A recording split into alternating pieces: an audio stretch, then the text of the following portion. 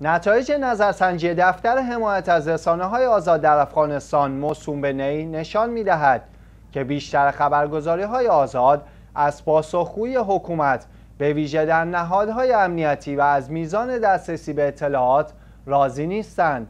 به گزارش شیعه ویوز به نقل از خبرگزاری های افغانستان در این نظرسنجی با 250 خبرنگار در کابل و 24 ولایت دیگر افغانستان گفتگو شده و بر اساس آن 50 ممیز 8 دهم درصد خبرنگاران می‌گویند که از پاسخگویی سخنگویان دولت راضی نیستند 47 ممیز 6 دهم درصد خبرنگاران از آن ابراز رضایت می کنند و یک ممیز 6 دهم درصد دیگر نیز در این باره اظهار نظر نکردند. بر اساس تازه ترین نظرسنجی نهاد نی بیشترین نارضایتی ها مربوط به سخنگویان نهادهای امنیتی و دفاعی، دادگاه ها، گمرک، وزارت بهداشت، ریاست عراضی، شهرداری و آموزش و پرورش است. یافته های این نظرسنجی نشان می دهد که 39 ممیز دو دهم درصد شرکت کنندگان می گویند که وزارت های کشور،